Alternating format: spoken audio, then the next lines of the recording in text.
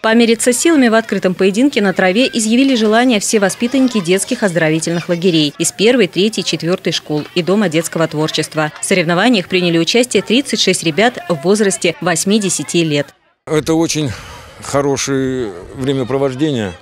Э, умение, навыки владеть своим телом также. И работа головой, мечом, это ногами. Вот, даже, можно сказать, всем телом. Вот. И очень э, хорошо развивает мышление. Даже вот надо определять, куда мяч приземлится. Ну, в принципе, очень широкий спектр действий на площадке.